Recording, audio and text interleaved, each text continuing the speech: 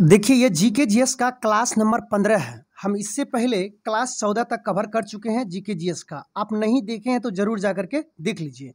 एक चीज़ आपको हम बता देते हैं, आज हम टेक्निकल का क्लास नंबर पंद्रह लिए हैं। उसमें से एक सवाल था कि कौन सा विटामिन है जिसे काटने के बाद जो है पानी में बह जाता है? तो देखिए, उसमें दो विटामिन होता है, ध्यान रखिएगा। जैसे कि सब्ज़ी है, मान लीजिए आलू है, ठीक है? आलू को यदि आप धो करके काटते हैं, तब तो कोई दिक्कत नहीं है। लेकिन पहले आलू को काट लेते हैं, पहले आलू को काट लीजिए और उसके बाद धोइएगा तो दो विटामिन है जो पानी में बह करके चले जाते हैं। और जनरली वही दो विटामिन पानी में घुलनशील होता है बी और सी बी और सी दो विटामिन है जो पानी में घुलनशील होता है। तो यदि आप सब्ज़ी काट करके धोइएगा, सब्ज़ी काट करके धोइएगा तो विटामिन सी और विटामिन बी जो है पानी में घुल करके बाहर निकल जाएँगे। इसमें से सी तो पूरी तरह से निकल जाते हैं विटामिन सी, जो पानी में घुल करके वो निकल गए। विटामिन का, विटामिन बी का कुछ टाइप चूँकि विटामिन बी का और भी टाइप है तो विटामिन बी का कुछ टाइप जो है पानी में घुल करके बाहर निकल जाते हैं। ठीक है? क्योंकि हम उसमें पढ़ाए हैं स्टूडेंट कन्फर्म है कमेंट करेगा, sir, vitamin C vitamin C. तो इसलिए हम क्लियर कर दिए आपको इस वीडियो में। ठीक है? जब कभी भी आप सब्ज़ी को काटिएगा, काट करके धोइएगा तो विटामिन बी और सी जो है, पानी में बह करके निकल जाते हैं। जिसमें सी तो निकल ही जाते हैं, बी का कुछ टाइप पानी में बह करके निकल जाते हैं। और आपको बताए थे कि कौन सा विटामिन जो है, गर्म करने के बाद नष्ट हो जाते हैं। तो विटामिन सी ज़्यादा आप उसको गर्म कीजिएगा तो विटामिन सी क्या हो जाएगा? नष्ट। मान लीजिए कोई सब्ज़ी को खूब एकदम तला रहा है तो उसमें विटामिन सी क्या हो जाएगा? वो खत्म हो गया, वो नष्ट हो जाएगा। ठीक है? तो चलते हैं आज के क्वेश्चन पे। फ़र्स्ट क्वेश्चन है रॉक गार्डन कहाँ स्थित है? देखिए रॉक गार्डन कहाँ स्थित है? पहले समझते हैं, इस रॉक का मतलब क्या था? रॉक मतलब होता है पत्थर। गार्डन मतलब तो समझ रहे बगीचा, ठीक है? पत्थर। तो रॉक मतलब होता है पत्थर और गार्डन मतलब बगीचा। यानी इस गार्डन में जो भी कलाकृति होगा, वो सभी किसी न किसी पत्थर से ही निर्माण हुआ होगा। जितना भी इसमें कलाकृति बना हुआ, वो पत्थर से ही निर्माण हुआ है। या फिर इसमें जितना भी प्लांट होगा पत्थर है रखा हुआ, पत्थर की इस दो पत्थर रखा हुआ, या पत्थर के बीच में दरार है, उससे पौधा क्या होता है? निकल जाता है। तो आप सोच लीजिए, कहीं भी पत्थर या पहाड़ी ऐसा इलाका है ऊँचा बना हुआ उसमें प्लांट निकल जाते हैं तो देखिएगा वहाँ पे लोग घूमने चले जाते हैं जाते हैं जाते हैं, और उसमें कुछ कलाकृति बना दीजिए, तब तो और वो भव्य हो बन जाते हैं, देखने के लिए बन जाते हैं। तो ये जो रॉक गार्डन था, इस गार्डन का निर्माण करता था नेक चंद्र सेनी। नेक चंद्र सैनी जो है, एक अधिकारी थे। उन्नीस में इन्होंने निर्माण करवाया था। जब वो फ्री टाइम हुआ था, उस समय इसके बारे में कहा था कि ये इन्होंने गुप्त रूप से इस गार्डन का निर्माण करवाया था। ठीक है? तो उन्नीस में देखिए, रॉक गार्डन का निर्माण नेक चंद्र सैनी ने किया था उन्नीस में। और वह जब वो अधिकारी था, जब वो फ्री टाइम था, उस समय उन्होंने इस गार्डन का निर्माण किया था। रॉक मतलब होता पत्थर। यानी जो भी चीज़ आपको वहाँ देखने के लिए मिलेगा, पत्थर से ही कलाकृति बन करके देखने के लिए। वैसे हम आपको बता देते हैं ये रॉक गार्डन चंडीगढ़ में स्थित है। हम चंडीगढ़ गए थे, लेकिन इस रॉक गार्डन तक हम नहीं पहुँच पाए। किसी कारण बस मुझे रिटर्निंग वापस होना पड़ा। लेकिन रॉक गार्डन तो नहीं देखे, लेकिन चंडीगढ़ में एक है सुखना झील। ध्यान रखिएगा, सुखना झील बहुत ही फ़ेमस झील है। ये सुखना झील तो हम ऑलरेडी घूम करके आ गए, आराम से। बहुत ही अच्छा दृश्य है, देखने लायक। कभी भी आपको टाइम मिलेगा या जाइएगा घूमने के लिए तो सुखना झील और रॉक गार्डन चंडीगढ़ में ये दो चीज़ है फ़ेमस जिसे ज़रूर आप देखने का कोशिश कीजिएगा। ठीक है? तो ये भी सवाल पूछा हुआ है कि सुखना झील कहाँ स्थित है? तो चंडीगढ़ में, जहाँ पे हम घूम करके आ चुके हैं। रॉक गार्डन नहीं घूम पाए, चूँकि किसी कारण बस मुझे आना पड़ गया वापस। रॉक मतलब होता पत्थर, यानी पत्थर से ही बना हुआ कलाकृति, जो भी होगा उस गार्डन में, और उसका निर्माण नेक चंद्र सेनी ने किया था, उन्नीस में ये एक अधिकारी थे। लेकिन सवाल है कि इतना डिटेल बता दिए, सर, इसमें याद क्या रखना? इसमें दो ही याद रखना है कि रॉक गार्डन कहाँ स्थित है? चंडीगढ़ में। इसका निर्माण किसने करवाया? बस याद रखना, नेक चंद्र सेनी। और बाकी कुछ नहीं। उन्नीस सौ संतावन या अधिकारी इसके बारे में विशेष क्वेश्चन नहीं पूछा हुआ। अभी तक दो ही क्वेश्चन एग्जामिनर बार बार पूछा है कि राव गार्डन कहाँ स्थित है? चंडीगढ़ में। इसका निर्माण करता कौन है? तो नेक चंद्र सेनी। यही दो क्वेश्चन आप कॉपी में लिख करके रखिएगा। वैसे इसका एक दृश्य भी दिखा देते हैं। देखिए, यही है रॉक चंद्र का रॉक ये रॉक गार्डन का। देख लीजिए, जिसका निर्माण नेक चंद्र सेनी ने किया था। देखिए, रॉक गार्डन का। देखिए, सब पत्थर से बना हुआ कलाकृति है। देख लीजिए। और पीछे भी जो जो प्लांट देख रहे हैं, ये भी किसी न किसी पत्थर के दरार से ही निकला हुआ था। एकदम बहुत अच्छा दृश्य है, देखने लायक। देखिए, किस तरह के। एक दो और इमेज दिखाते हैं, जिससे कि माइंड एकदम फ्रेश हो जाए। देख लीजिए, ये भी दृश्य देख लीजिए। देखिए कितना सुंदर बना हुआ एकदम रंग बिरंग के पत्थर से सजा करके एकदम बनाया हुआ है। नेक चंद्र सेनी ने बनाया था रॉक प्रेमियों के लिए, रॉक मतलब पत्थर का कलाकृति देखने के लिए, जिसके दिल में दिलचस्पी है, जा करके ज़रूर देख सकते हैं। नेक चंद्र ने बनाया है और ये रॉक गार्डन जो है, चंडीगढ़ में स्थित है और वहाँ पे एक सुखना झील भी है, जो दो चीज़ फ़ेमस है। आप ये भी देख लीजिए। देख रहे हैं, इस तरह से कलाकृति बना हुआ है। तो हमें उम्मीद है इस क्वेश्चन को आप अच्छी तरह से समझ गए और प्लस ये भी याद रखिएगा इसमें। तो कहाँ होगा इसका? रॉक गार्डन कहाँ स्थित है? तो चंडीगढ़ में। और चंडीगढ़ में क्या एक और स्थित है? सुखना झील। रॉक गार्डन का निर्माण करता कौन है? नेक चंद्र बस यही तीन क्वेश्चन इससे पूछा गया है। आगे चलते हैं। क्षेत्रफल की दृष्टि से सबसे बड़ा देश कौन सा है? चार ऑप्शन आपके सामने दिया हुआ है। चार ऑप्शन दिया हुआ है। इन्हीं चार में से आप बता सकते हैं।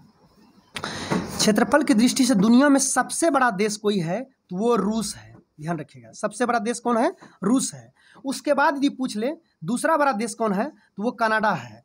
तीसरा बड़ा देश यदि पूछ ले आपसे, तीसरा बड़ा देश चीन है। ठीक है? तीसरा बड़ा देश कौन है? चीन है। चौथा बड़ा देश कौन है? अमेरिका। पांचवा बड़ा देश कौन है? ब्राज़ील। छठा बड़ा देश कौन है? भारत। ये ऑस्ट्रेलिया, सातवां बड़ा देश कौन है? भारत। तो इसमें इस सवाल जो क्वेश्चन क्षेत्रफल को लेकर के पूछा हुआ है, इसमें दो सवाल पूछा हुआ है कि क्षेत्रफल की दृष्टि से विश्व में सबसे बड़ा देश कौन सा है? रूस। दूसरा पूछा कि क्षेत्रफल की दृष्टि से विश्व में भारत का कौन सा स्थान है? तो विश्व में भारत का स्थान है सातवां, ठीक है? और यदि आप चाहते हैं क्रम से याद रखने के लिए पूरा तो इसका ट्रिक होता है रुख चीन। रुख चीन अब। आ। भारत। रुक चीन रुक चीन, अब आ भारत। ऐसे भी कहता है कि रुक चीन, बहुत ज़्यादा कोरोना तुम फैलाया अभी आ रहा है भारत। चीन को जवाब भारत देता है, ठीक है? तो रुक चीन रुक चीन, अब आ भारत। रुक मतलब रोस हुआ रूस को से हुआ कनाडा चौ से हुआ चीन ओ से हुआ क्या? ऑस्ट्रेलिया बो से क्या हुआ?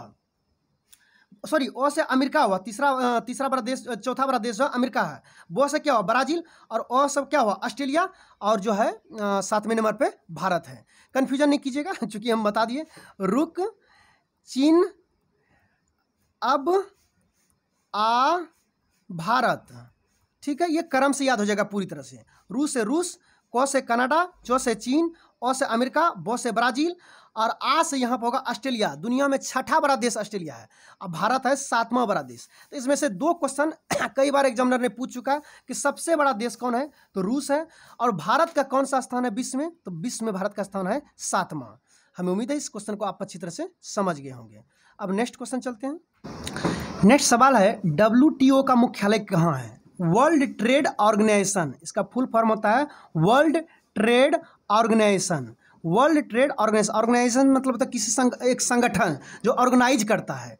तो ये World Trade Organization W T यह विश्व व्यापार संगठन। अब देखिए दुनिया में जितना भी लोग व्यापार करता है एक देश से दूसरे देश एक देश से दूसरे देश उसको कोई ऑर्गेनाइज करने वाला होना चाहिए। कोई संस्था होना चाहिए जो नियम रूल बना सके भाई इस देश में जाइएगा तो यहाँ किस तरह से व्यापार कीजिएगा। मान लीजिए कोई देश ऐसा है जो कहेगा कि दूसरा देश हम मेरे देश में आएगा व्यापार करने के लिए तो उससे ज़्यादा हम टैक्स लेंगे और हम दूसरे देश में जाएँगे तो हम कम टैक्स देंगे। ऐसा थोड़ी होगा? नहीं।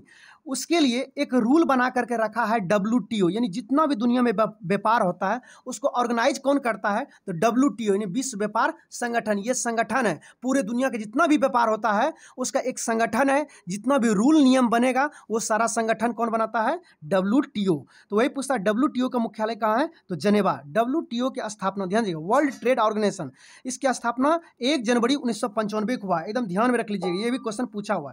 एक जनवरी उन्नीस को। अब डब्ल्यू क्या, जैसे कि स्टूडेंट है स्टूडेंट को स्टूडेंट का संगठन है उसमें से कोई व्यक्ति ऐसा तो होगा ना जैसे लीड करता होगा, मैंने उसको चलाता होगा? है कि नहीं? तो किसी भी चीज़ को एक ऑर्गेनाइज करने के लिए, एक संगठन बनने के लिए, एक नियम रूल चलने के लिए, जैसे गाँव में क्या होता है? मुखिया है मुखिया पूरे गाँव को क्या करता है? यहाँ पे क्या, किस तरह का होना चाहिए रूल नियम? उस तरह होना होना चाहिए। उसी तरह से व्यापार, जितना भी व्यापार होता है, उसका कोई एक रूल नियम होना चाहिए। अब कोई रूल नियम नहीं, उसका कोई संगठन नहीं है, तब तो जो मन होगा, जैसे मन तैसे व्यापार करेगा। नहीं, उसके लिए दुनिया में वर्ल्ड ट्रेड ऑर्गेनाइजेशन यानी सभी व्यापार को संगठित किया हुआ है, उसका एक ऑर्गेनाइजेशन है, क्या रूल क्या नियम होना चाहिए? सारा रूल नियम को बनाने का काम वर्ल्ड ट्रेड ऑर्गेनाइजेशन यानी विश्व व्यापार संगठन करता है। विश्व व्यापार संगठन का मुख्यालय जनेवा में, जनेवा यानी स्विट्जरलैंड स्विट्जरलैंड में पड़ता है जनेवा, ठीक है? और इसकी स्थापना उन्नीस में हुआ है। इससे दो क्वेश्चन एग्जामिनर पूछा हुआ आज तक कि वर्ल्ड ट्रेड ऑर्गेनाइजेशन का मुख्यालय कहाँ है? जनेवा। दूसरा पूछा कि इसकी स्थापना कब हुआ? एक जनवरी उन्नीस सौ पंचानवे को एकदम ध्यान में रख लीजिएगा। और तीसरा आप दिमाग में रख लीजिएगा, यदि पूछ ले, दुनिया में जितना भी व्यापार होता है, उसको ऑर्गेनाइज कौन करता है? यानी कौन सा संगठन है जिसको उसको कंट्रोल करके रखता है? नियम रूल नियम बनाता है, व्यापार संबंधित। तो याद रखिएगा डब्ल्यूटीओ ठीक है? तो दोनों क्वेश्चन आप दिमाग में रख लीजिएगा। तो इसका आंसर क्या हो जाएगा? Option number A is the correct answer.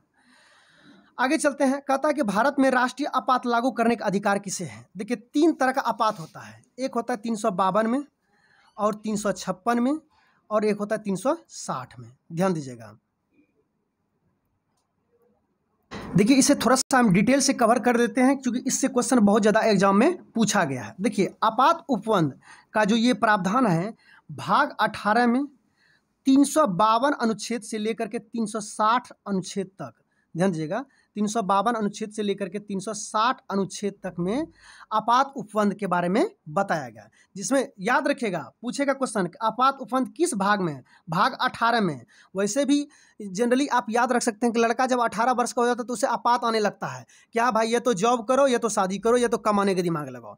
आपात आने लगे, आपातकाल आने लगता है अठारह में। भाग अठारह में जो है, आपात उपबंध के बारे में कहा गया। आपात उपबंध मुख्य रूप से तीन अनुच्छेद फ़ेमस है। तीन सौ बावन जिसमें राष्ट्रीय आपात है, तीन सौ छप्पन, जिसमें राष्ट्रपति शासन है, और तीन सौ साठ, जिसमें वित्तीय आपात वित्तीय मतलब क्या था? फाइनेंशियल पैसा संबंधी प्रॉब्लम ठीक है?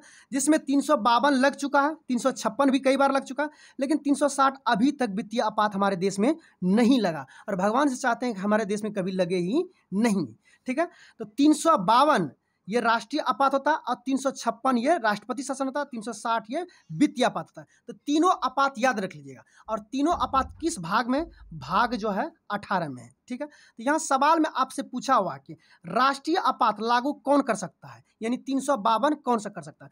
ठीक है? तो तीन सौ बावन जो अनुच्छेद लागू करता है, वो भारत के राष्ट्रपति करते हैं। ध्यान रखिएगा। और एक चीज़ ध्यान रखिएगा, तीन सौ बावन के बारे में एक क्वेश्चन और पूछा है कि तीन सौ बावन लागू कब होता है?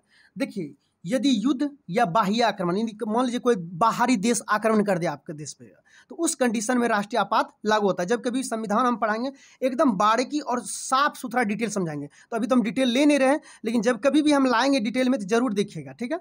तो तीन सौ बावन कब लागू होता है? बाह्य युद्ध आक्रमण, यदि कहीं बाहर से कोई आक्रमण करने, यदि कोई देश बाहर से आक्रमण करने वाला है, उस कंडीशन में राष्ट्रीय आपात लगता है। या फिर सशस्त्र विद्रोह। सशस्त्र विद्रोह संपूर्ण भारत देश में, यदि भारत में, संपूर्ण भारत में यदि सशस्त्र विद्रोह सशस्त्र विद्रोह का खतरा हो, महसूस हो, सशस्त्र विद्रोह का मतलब हुआ, हथियार ले करके निकल गया और जो है विद्रोह करना शुरू कर दिया देश में, उस कंडीशन में भी राष्ट्रीय आपात लागू होता है।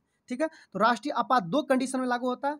बाह्य युद्ध युद्ध या बाह्य आक्रमण, यानी कोई बाहरी देश आक्रमण करने वाला होगा तो उस कंडीशन में लगता है। या फिर हमारे देश में वैसा आंदोलन होने लगे, जिसमें लोग हथियार उथियार लेकर के निकलने लगे, तब उस कंडीशन में जो है, ऐसे केवल आंदोलन करने निकलने उससे नहीं, लेकिन वो हथियार लेकर निकलने लगे, तब उस कंडीशन में राष्ट्रीय आपात लागू हो जाएगा। यानी सशस्त्र विद्रोह और बाह्य आक्रमण।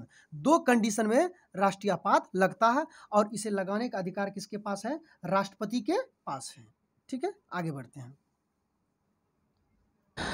आगे सवाल है डिप्टीरिया रोग किस अंग को प्रभावित करता है? सबसे पहली बात तो ये जान लीजिए डिप्टीरिया रोग जो है, बैक्टीरिया के कारण होता है। किससे कारण होता है? बैक्टीरिया कारण।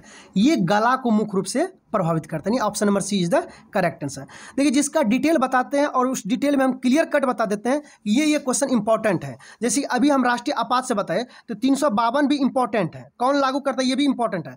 कब, कैसे, किस कंडीशन में लागू होता है? बाह्य आक्रमण या फिर सशस्त्र विद्रोह? ये भी पूछा हुआ है। और तीन सौ पूछेगा आपको, राष्ट्रपति शासन किस अनुच्छेद में लगता है? तीन सौ छप्पन, ये भी क्वेश्चन पूछा है। वित्तीय आपात किस अनुच्छेद में लगता है? तीन सौ साठ में, ये भी क्वेश्चन पूछा हुआ क्या वित्तीय आपात अभी हमारे देश में है अभी तक एक भी बार नहीं लगा हुआ है। फाइनेंशियल संबंधी प्रॉब्लम ठीक है? और कौन लागू करता है? तीन सौ बावन अनुच्छेद, ये भी हम आपको बता दिए, राष्ट्रपति लागू करता है। आगे है, केंद्रीय गन्ना अनुसंधान संस्थान कहाँ है? देखिए, केंद्रीय गन्ना अनुसंधान संस्थान कोयम्बटूर में। और ध्यान रखिएगा, ये कोयम्बटूर जो है, तमिलनाडु में स्थित है, गन्ना अनुसंधान। गन्ना अनुसंधान का मतलब समझते हैं, गन्ना के लिए अनुसंधान करेगा। एक नए नए वरायटी गन्ना का लाएगा, जैसे चावल अनुसंधान। चावल के बारे में वो अनुसंधान करता है, खोज करता है। अनुसंधान का मतलब क्या होता है? खोज करना, ठीक है? तो कहता है, केंद्रीय गन्ना अनुसंधान, यानी गन्ना के बारे में वो खोज करेगा एक नए नए वैरायटी के लिए। तो ये अनुसंधान कहाँ स्थित है? तो कोयम बटूर में स्थित है। कोयम बटूर कहाँ पड़ता है? तमिलनाडु में। आगे बढ़ते हैं। नापता झाकड़ी, ध्यान दीजिएगा। आगे आपका सवाल है कि नापता झाकड़ी, ध्यान दीजिएगा, नाकर, नापता झाकड़ी परियोजना किस राज्य में स्थित है? देखिए, नापता झाकड़ी ये एक विद्युत परियोजना है, ध्यान रखिएगा। ठीक है? ये नापता झाकड़ी विद्युत परियोजना जो है, सतलज नदी पर बनाया गया है। सतलज नदी पे क्या करता है? यदि कोई बड़ा बड़ा नदी रहता है तो उसमें बाँध बना दिया था और इधर पानी को क्या करता है? जमा कर देता और यहाँ से पानी को नीचे गिराया था और वहाँ पे सेटिंग कर देता इस तरह से पंखी घूमते रहे और ताकि मोटर से क्या पैदा हो सके? बिजली पैदा, मोटर घूमेगा तो बिजली पैदा होगा। ठीक है? तो यही होता है परियोजना।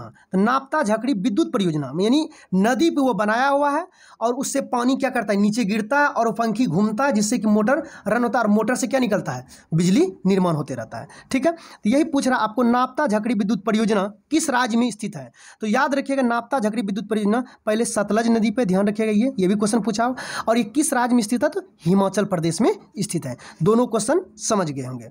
और परियोजना क्या है? ये भी बता दिया आपको। आगे है जम्मू कश्मीर की राजकीय भाषा क्या है? देखिए, जम्मू कश्मीर की राजकीय भाषा जो है, उर्दू है। जम्मू कश्मीर की राजकीय भाषा क्या है? उर्दू है। यहाँ पे टाइप मिस्टेक हो गया। हम पीडीएफ में आपको सही करके दे देंगे। आपको बार बार हम कहते हैं पीडीएफ में जो भी बताते हैं, उसमें कोई टाइप मिस्टेक हो तो उस पर ध्यान मत दीजिए। हम जो भी वीडियो में बताते हैं, वही ऑथेंटिक और सही होता है, क्योंकि पीडीएफ टाइप करने में मिस्टेक हो जाता है। तो यहाँ डी आंसर हो जाएगा। उर्दू है, ठीक है? और एक क्वेश्चन आप एकदम ध्यान में रख लीजिएगा। एक क्वेश्चन बार बार एग्जामिनर ने पूछा है कि नागालैंड का राजकीय भाषा क्या है? तो नागालैंड का राजकीय भाषा अंग्रेज़ी है। आपके दिमाग में आएगा कि हमारे देश में तो हिंदी ज़्यादा भाषा बोला जाता तो वो तो गजबे है कि नागालैंड भाषा अपना नहीं, वो अपना राजकीय भाषा अंग्रेज़ी रखा है। इसलिए एग्जामिनर बार बार पूछता है। जो यूनिक होता है, उसी को एग्जामिनर बार बार उठा करके पूछता है। तो जम्मू कश्मीर का राजकीय भाषा उर्दू है, ठीक है? ऑप्शन नंबर डी और नागालैंड की राजकीय भाषा अंग्रेज़ी है। ध्यान रख लीजिएगा। आगे है हवाई जहाज़ किस मंडल में उड़ता है? देखिए, हवाई जहाज़ किस मंडल में उड़, देखिए वायुमंडल को कई मंडलों में विभाजित किया गया है, जिसमें से सबसे नीचे क्षोभ मंडल होता है, उसके बाद समताप मंडल होता है, ठीक है? ध्यान रखिएगा, समताप मंडल में ही हवाई जहाज़ उड़ता है। और क्षोभ मंडल में क्या होता है? जितना भी वर्षा उर्षा होता है, वो क्षोभ मंडल में होता है। और सबसे नीचे क्षोभ मंडल पाया जाता है। आपके लिए दो सवाल आज है कि क्षोभ मंडल को इंग्लिश में क्या कहते हैं और समताप मंडल को इंग्लिश में क्या कहते हैं? ये दोनों ही क्वेश्चन एग्जामिनर ने पूछा हुआ है, ठीक है? क्षोभ मंडल को सीधा इंग्लिश में दे करके दे देता है। समताप मंडल को सीधा इंग्लिश में दे देता है, ठीक है? तो याद रखिएगा क्षोभ मंडल को और जो है समताप मंडल को। यदि आप नहीं जानते हैं, तब हम बता देंगे आपको ट्रोपोस्फेयर एक्जोस्फेयर ये सब करके रहता है। आप एक बार हमें कमेंट करके ज़रूर बताइएगा कि क्षोभ मंडल को अंग्रेज़ी में क्या कहते हैं। नहीं होगा तो अगले वीडियो में क्लियर कर देंगे, चूँकि ये पूछा हुआ एग्ज़ाम है। ठीक है? तो ध्यान रखिएगा, हवाई जहाज़ किस मंडल में उड़ते हैं? तो समताप मंडल में। और यदि पूछ लेगा वर्षा उर्षा बादल, उदल जितना भी होता है, मौसम संबंधी जितनी भी घटनाएँ होते हैं, वो किस मंडल में होता है? तो वो होता है क्षोभ मंडल में। वो किसमें होता है? क्षोभ मंडल में। और हवाई जहाज़ किसमें उठता है? समताप मंडल में। ठीक है? आगे बढ़ते हैं। आगे, एन अनोन इंडिया के लेखक कौन है? देखिए, एन अनोन इंडिया के लेखक है Neeraj Singh Chaudhary. An unknown India के लेखक कौन है? नीरज सिंह चौधरी, याद रख लीजिएगा। नेक्स्ट सवाल है, सार्स में ए का मतलब क्या होता है? पहले सार्स समझ लेते हैं कि यह क्या है। देखिए सार्स एक जो है, कोरोना वायरस के कारण होने वाला सांस संबंधी संक्रमण प्रॉब्लम है। जैसे सार्स अभी कोरोना वायरस आया था। ये सार्स ग्रुप के ही थे। ये एक तरह से ग्रुप होता है। इस ग्रुप में ये जो होता है, ये वायरस संबंधित होता है, ध्यान रखिएगा। और ये 2002 में जो है पहली बार चीन में नज़र आया था, ठीक है? ये सांस संबंधी प्रॉब्लम करता और कभी कभी जा करके पूरा घातक साबित हो जाता है। जब ज़्यादा ये फैल जाता है तो घातक संबंधित हो जाता है, ठीक है? तो वही पूछ रहा है सार्स में ए का मतलब क्या होता है? पहले सार्स का फुल फॉर्म लीजिए कभी कभी एग्जामिनर ने सार्स का भी फुल फॉर्म पूछा है। सीवियर ध्यान देगा सीवियर एक्यूट रिस्पिरेटरी